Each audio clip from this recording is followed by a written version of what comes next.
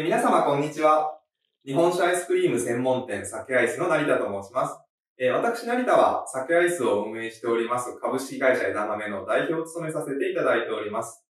えー、酒アイスは、え、東京浅草にある日本酒アイスクリームの専門店です。え今回の、え旅する酒の企画で、え関西初出店をさせていただいております。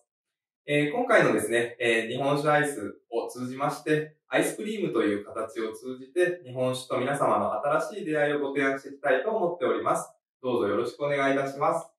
東京、浅草、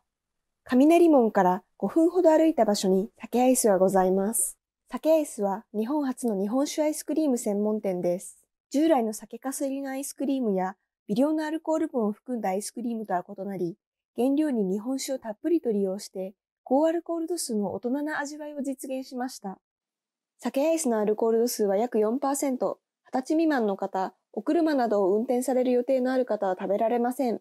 本当に大人限定の全く新しい贅沢なスイーツです。2020年3月に浅草店をオープンした酒アイスは以降、ネット販売などでもお客様に日本酒アイスをお届けしてきました。人気ナンバーワンメニューは日本酒アイス。濃厚なミルクアイスに日本酒をたっぷり練り込んだ浅草店での不動の人気ナンバーワンメニュー。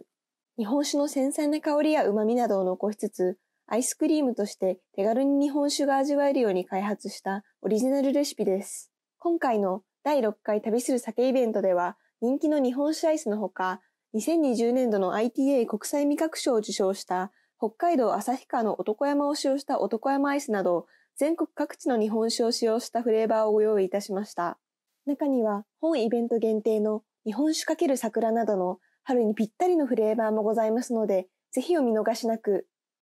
こちらが今回ご紹介した酒アイスになります。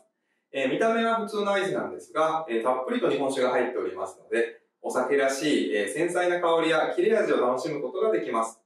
このままでももちろん美味しいんですけれども、えー、お酒を飲むときと同じように、えー、他の食材と合わせていただくことで、えー、さらに楽しみを広げていただくことが可能になっております。例えば、フルーツ系のソルベと合わせて食べると、まるでカクテルのような味わいに。香り高い山椒をかけて食べるのも美味しいです。酒アイスは日本酒の切れ感がしっかり感じられるので、お食事の締めとして召し上がっていただいてもすっきりと美味しくいただけます